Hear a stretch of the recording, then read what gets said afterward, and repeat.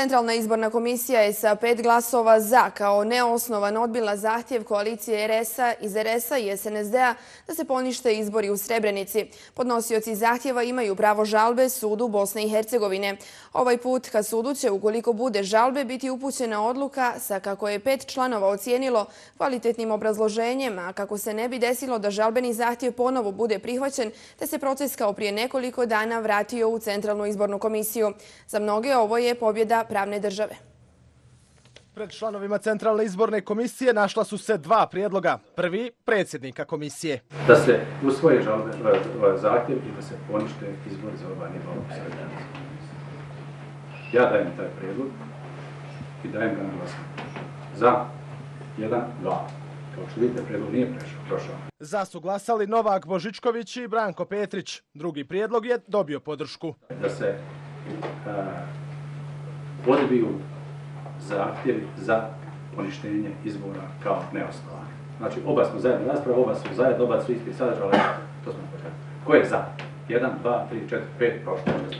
Za su glasali Irena Hadžiabdić, Suad Arnautović, Mile Kudić, Stjepan Mikić i Ahmed Šantić. Glasanju je prethodila duga rasprava, najburnija oko prijava i odjava prebivališta u Srebrenici.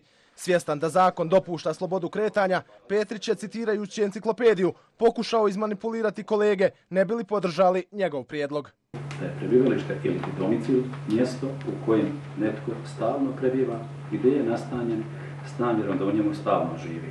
Šta je prebivalište u smislu izbornog zakona? Ono što je od strane nadležnog organa utvrđeno kao prebivalište. Ne ono što Branko Pekić ili Mile Kuć misli. Ljudi su iskoristili zakonsko pravo i vi što su iskoristili pravo, zakonsko pravo, neke pravne ekvilibristike izvodi, izvodite da on nije namjeravao i nije. Ali ništa to nije da učinio pobjede. On je imao, imao namjeru da iće da glasa u Srebrenicu.